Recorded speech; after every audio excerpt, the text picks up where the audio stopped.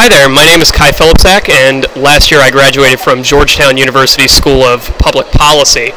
Um, I did my master's thesis on qualitative determinants of charter school effectiveness, and in the process, uh, I became interested in Montessori charter schools.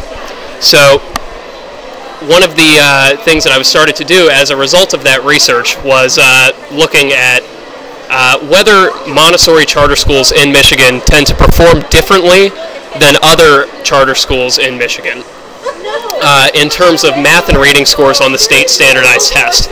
Uh, fortunately, I, after actually doing the research, I'm very proud to say that there are very strong uh, differences and that these differences are in fact positive.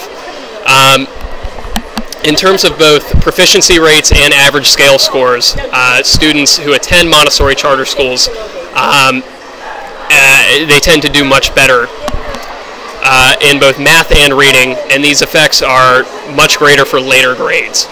Uh, this is the case for uh, both the group of all students as a whole and also for uh, unique subgroups within these students, such as students who are eligible for free and reduced lunch, uh, white students, and black students.